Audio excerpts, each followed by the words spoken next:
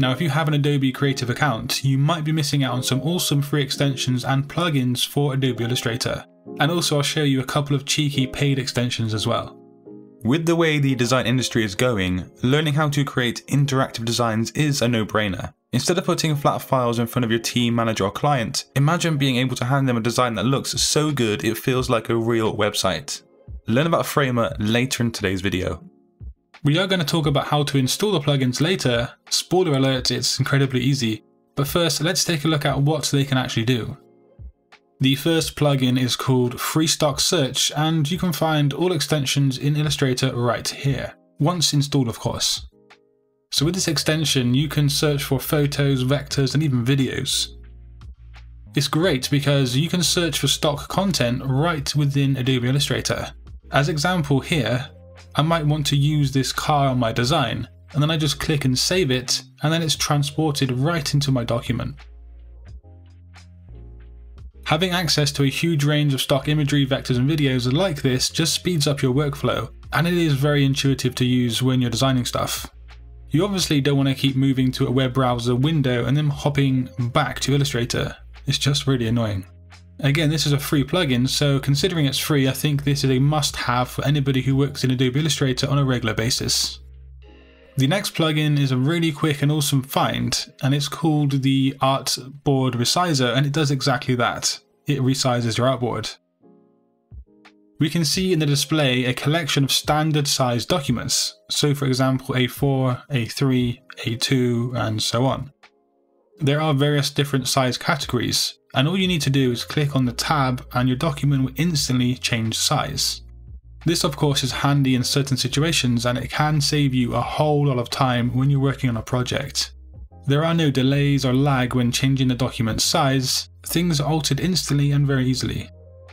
We also have standard US paper sizes at the very bottom too, so yeah, this is also a pretty useful find.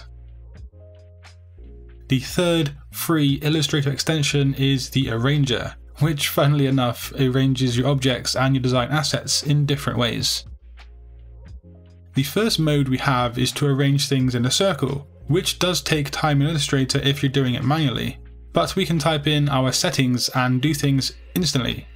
There are adjustments we can make such as the direction, the start angle, orientation and so on. So yeah, there's no more duplicating objects and using that pesky rotate tool. The next thing we can do in seconds with this plugin is to set things to a grid. All you need to do is to adjust the amount of columns that you want to use, and then adjust the gutter width and the gutter height values. This is also a nice and handy feature to have access to, which is no doubt going to save you some time in Illustrator when you're working on projects. It's just a case of typing in your irrelevant values and then bish bash bosh, you have your grids.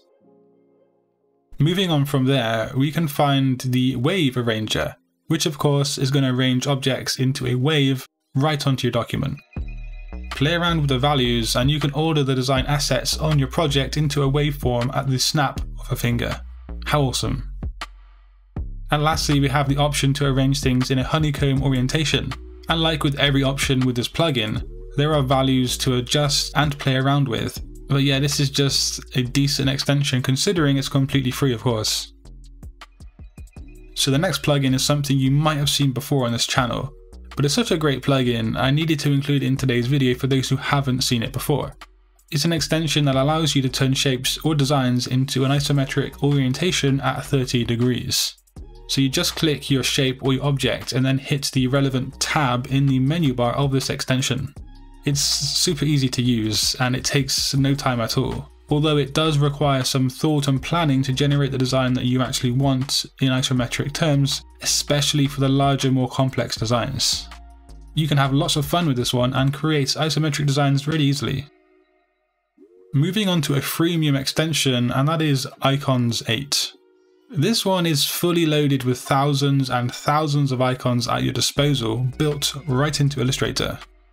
There are a lot of categories to search under as you can see here, and if you take a look at the gradient section, we can see that the icons themselves are pretty decent. But like I did say, it's a freemium, so it's free up to a certain point. You can download every icon as a PNG file for free, But if you want to download SVGs, then you have to pay a one-time payment of $13, which isn't that much really, is it, when you think about it? Once paid, you can download any of the thousands of icons as SVGs for your projects, and the fact it's built right into Illustrator is really, really neat. So yeah, I would look into this one if you use icons on a regular basis in your workflow. The next extension is not free at all, but as one logo designer to another, I want to share this one with you guys. It's called the Logo Package Express. It does take a long time to export and collect logo files for a client when you need to package the designs together. This extension aims to make that process a whole lot easier. Here we can use the logo as it is, but we can also decide to separate the logo mark, the logo type, and also the tag line. So that means that here you can basically just save different parts of your logo as separate elements and files. The key thing is to check out your settings such as what the file formats you want to save are, the naming of each of your font files, the dimensions and the scale of your export designs, the padding around your design up until the artboard edges, and just make sure everything is how you want it to be for when you're exporting and saving your logo files.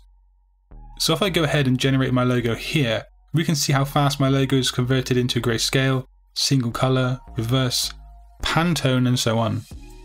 It's really quick and if you've made sure the settings are correct for you and your project, you can export your designs and save them individually really easily.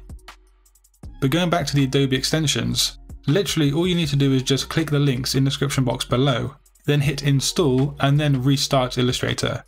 Actually I think you need to install them while Illustrator isn't even running.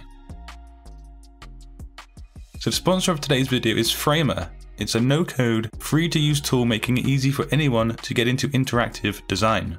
Their mission is to help you get closer to real. You can create your own smart components complete with multiple states, design clean layouts with easy to use layout tools, and of course build flows so realistic that your project feels like an actual website.